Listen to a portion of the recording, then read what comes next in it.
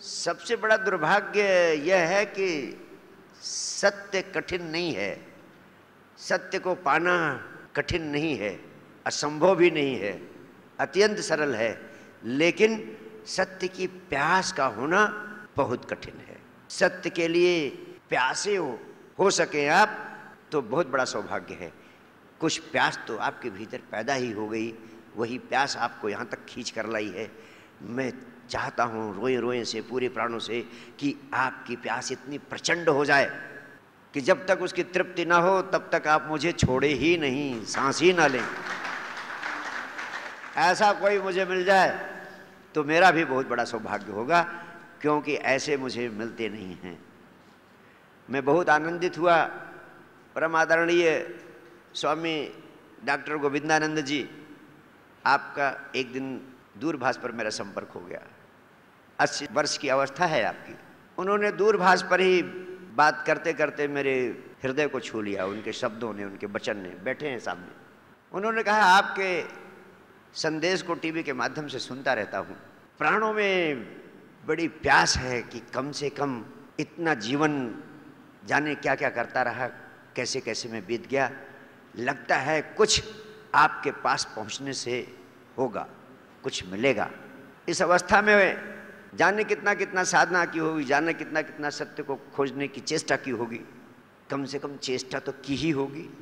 और उस प्यास इतनी पैदा हो गई है। मैंने आग्रह किया कि आपको कुछ हो या ना हो, लेकिन मेरा आनंद बहुत बढ़ेगा अगर मैं आपका दर्शन कर लूँगा ऋषिकेश की धरती पर।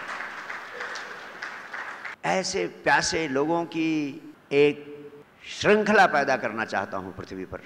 मैं सिर्फ़ इतना कहता हूँ कि तुम अपने भीतर प्यास पैदा करके उठना यहाँ से। सिर्फ़ प्यास लेके उठना।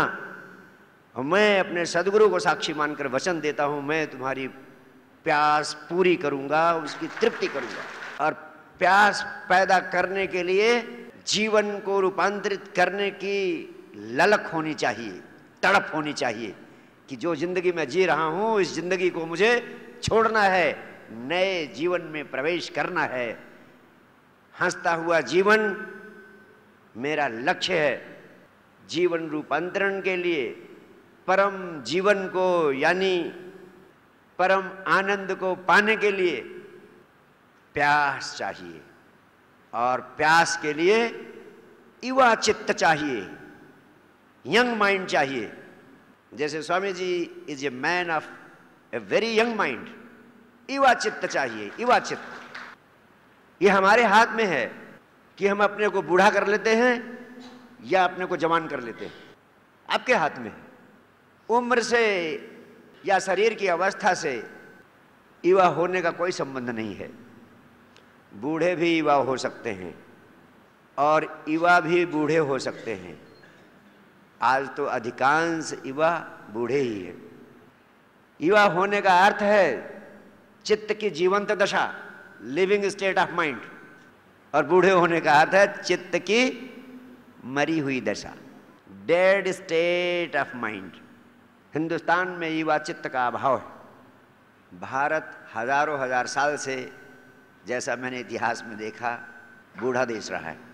इसमें बूढ़े पैदा होते हैं, बूढ़े ही जीते हैं और बूढ़े ही मर जाते हैं। न बच्चे पैदा होते हैं न जवान पैदा होते। क्योंकि जीवन का उत्साह जीवन का आनंद, जीवन का संगीत, जीवन जीने की उद्दाम लालसा हमारे प्राणों में, हमारे हृदय की बीणा पर है ही नहीं। अगर हमारे देश में लोगों के पास युवा चित्त होता तो जो गंदगी, इतना सड़ा हुआ समाज, इतने सालों से भारतवर्ष में जी रहा है, ये ज़िंदा रह पाता। हम हज़ारों साल तक गुलाम रहते, बाहर के लोग आए, हज़ारों साल हम उनकी गुलामी में जीते रहे। हज़ारों साल से हम दरिद्रता और दीनता की ज़िंदगी, भिखारी की ज़िंदगी जी रहे हैं। शहरों को छोड़ दो, गाँव में जाके देखो। मैं तो निपट गाँव का हूँ। मुझे पता है कितनी दुर्दशा है। अभी भी लोगों को रोटी, कपड़ा, मकान नहीं नसीब हो रहा है। इतने दुख की ज़िंदगी लोग जी रहे हैं। आज़ाद हिंदुस्तान में भी। अगर युवा चित्त होता तो हम अब तक गरीबी को मिटा दिए होते या खुद ही मिट गए होते। लेकिन हमारे भीतर सोचने की हमारी क्षमता ही खत्म हो गई। इतना पाखंड, इतना अंधविश्वास, इतना शोषण भारतवर्ष की धरती पर। और हमारा युवा बैठे देख रहा है। हमारे बूढ़े चित्त वाले लोग बैठ के देख रहे हैं।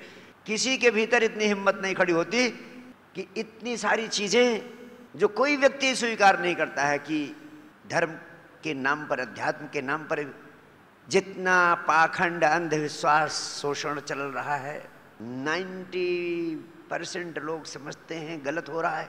लेकिन उसको बढ़ाने में वो सहयोगी भी बने हुए। भीतर से समझते हैं कि गलत हो रहा है। लेकिन ये चल सिर्फ़ इसीलिए रहा है कि साइलेंटली आप इसको सहयोग दे रहे हैं। साइलेंटली आप सोचते हो, कौ नृप हो हमें कहानी? कुछ भी होता रहे, हमारे ऊपर क्या? हम तो अपने कमरे में एसी चला के सो जाते हैं आराम से। खाना मिल जाता है, सवेरे उठते हैं। अपने में बंद हो गए युवा चित्त के लक्षण नहीं है। बिना मर्म को जाने धर्म के नाम पर अध्यात्म के नाम पर जाने क्या क्या अंधविश्वास चल रहा है। तो मेरे प्राणों में बार बार बिजली की तरह ये भाव तरंगित होता है कि जिस धरती पर मैं पैदा हुआ हूँ जिसे जगत गुरु कहे जाने का गौरव प्राप्त हुआ है वहाँ के लोग यौवन विहीन हो जाएँ, वहाँ के लोग मरे मराए जी। एक पुस्तक पढ़ रहा था, काउंट कैसर लेन ने लिखा है, India is a rich country where poor people live. मैंने सोचा, कोई भाषा की भूल तो नहीं हो गई? फिर दोबारा पढ़ा दोबारा क्लियर किया तो पता चला, बात वही लिखी गई है जो मैं पढ़ रहा हूँ। India is a rich country where poor people live.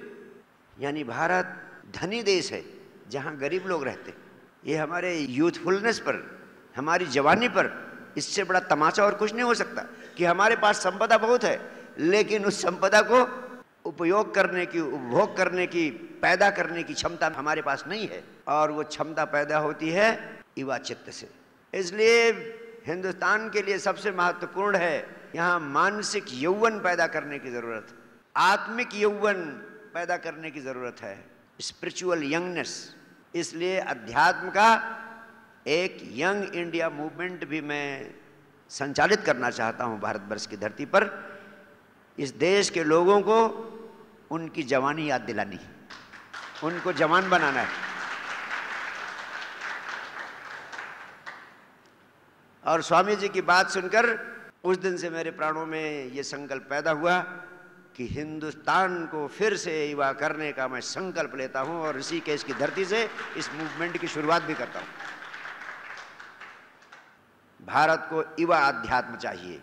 बूढ़ा अध्यात्म हमारे पास बहुत हो चुका है। बूढ़ा होने का राज आपको पता है?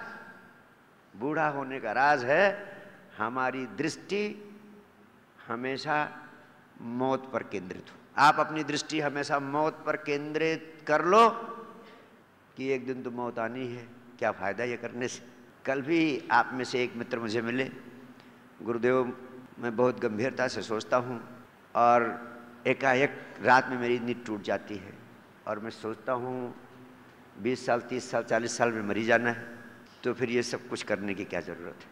वाई टू डू एनी बड़ी महत्वपूर्ण बात कही उन्होंने। और कहने लगे, गुरुदेव, मैं आपसे इस बारे में मार्गदर्शन चाहता हूँ, इस पीड़ा के बारे में। जिनके बारे में बात कर रहा हूँ, यहीं बैठे मैंने कहा, ज़रूर, हम अलग से बात करेंगे आपसे, लेकिन आज मैं आपके सबके सामने ही वो बात कर ले रहा हूँ। उनसे अलग से भी बात करूँगा। लेकिन जब हमारी दृष्टि मौत पर केंद्रित होती है तो बूढ़ा अध्यात्म पैदा होता है।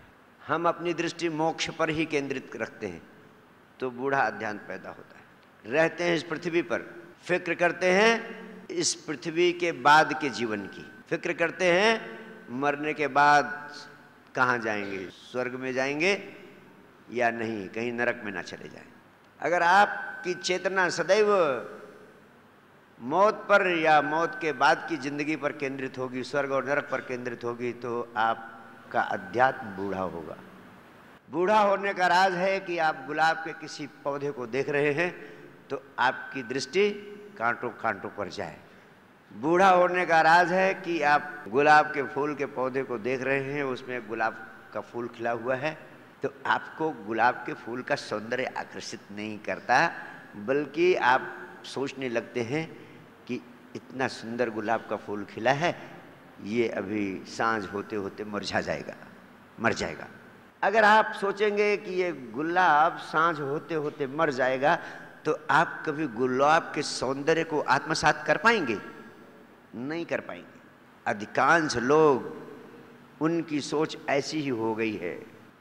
हमेशा नकारात्मक पहलू को देख लेते हैं। अगर दिन को देखेंगे, रात को देखेंगे तो वो सोचेंगे कि ये संसार कैसा है। दो रात होती है, दो रातों के बीच में एक छोटा सा दिन होता है। जवान होना है तो आपको अपनी सोच बदलनी पड़ेगी। आपको अपनी दृष्टि, मौत की जगह जीवन पर ले जानी पड़ेगी।